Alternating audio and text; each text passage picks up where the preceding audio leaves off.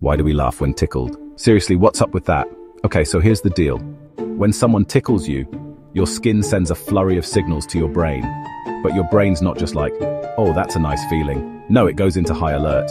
See, tickling targets the same nerves that sense pain.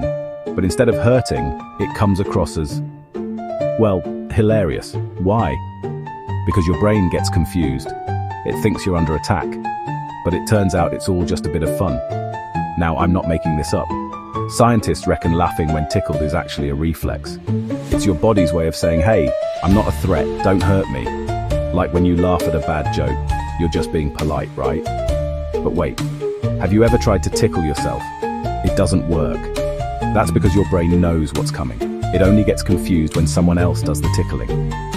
Some researchers even think tickle laughter is a social thing. It helps you bond with friends, family, even pets. It's like your body's built-in icebreaker. So, next time you're laughing your head off while being tickled, just remember, it's your brain's way of saying, let's be friends. And if you want to avoid it, well, good luck.